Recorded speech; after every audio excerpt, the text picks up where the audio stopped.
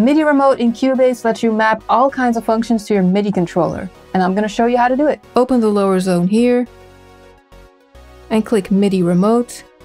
Click this plus. You could import an existing script if you have one, but we're going to create a new one. Select Vendor, Model. If your model is in here, you can choose a factory one, but now I'm going to add a completely new one, give it a name. You can add your own name here, and then input and output ports are going to be my controller.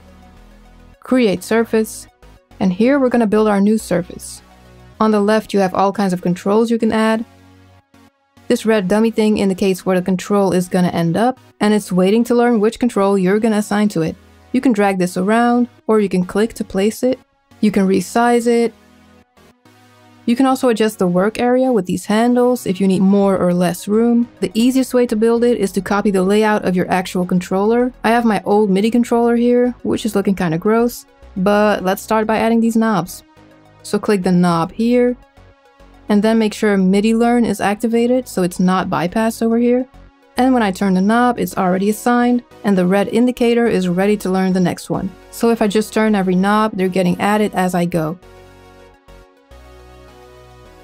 and you can still move them around and resize them. This plus, by the way, allows you to add new controls manually.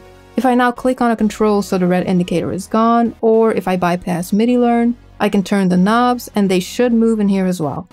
You can also check by clicking it, and on the right you'll see the properties of the control, which you can also change if you need to. There's information on all of these modes in the Cubase manual, but I just leave them the way they are and just try different ones if your control is not reacting the way you want it to. This function transmits to hardware, allows for two-way communication between Cubase and your MIDI controller. If you want to delete a control entirely, you can click the trash icon. Let's quickly add some faders as well. Same thing, choose fader, make sure MIDI learn is on, adjust this one, and just move the actual faders. And I'm done. If you don't have a controller with faders and buttons and all that, you can map any function to piano keys as well.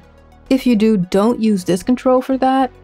As you can see here, it's not available for MIDI learn, and you can only use it as piano keys. What you can do is use something like a pad, and then you can assign separate functions to every key. An example could be using these for live triggering arrangement parts, which I show in the video in the description. Okay, so my surface is built, then go to the mapping assistant. This is where you assign functions to the controls on your surface, which is here.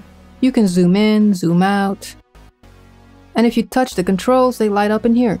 So use the one you want to add a function to, or just click it. It'll show up on the left, and on the right we're going to add a function. You can click here or here to open the browser, or you can open a plugin or VST and click the control you want to add. But let's use the browser. Panning for the selected track. You can click it once and apply mapping, or click it twice to map it immediately, and you can see it's added and then volume on one of the faders, double click. And if I move this, you can see it's moving in the opposite direction of what I would want it to be. So I'm gonna go here and invert the minimum and maximum values. You can also do that in here. And now it's correct. If you want to add more functions than you have controls on your controller, you can add a page. You can also duplicate the existing one. And to switch between pages, you'll want to map these two functions, next and previous mapping page to two buttons or pads. MIDI remote is used a lot to map quick controls. What those do is a whole separate tutorial, just know that you can map them. When the mapping is done, you can go in and configure it in more detail, Value modes let you configure the way Cubase and your MIDI controller work together. Again, if something's not reacting the way you expected, go through these. And this G and P stand for the scope of the mapping. Either it's global or just for this project, but you can go in and change that. If you go back to the surface, you'll see the function icons are added here as well.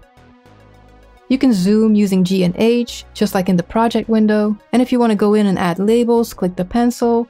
Click the control and then this button on top. It's not looking very pretty here, but you can make it work. If you want to delete a mapping, you can right click and delete. If you want to edit another mapping page, click this arrow. and choose a page. And if you want to manage your MIDI controllers and scripts, you can click this arrow or click the cogwheel and all the info is here. So I hope that helped. If it did, please like the video and also subscribe and have fun making music.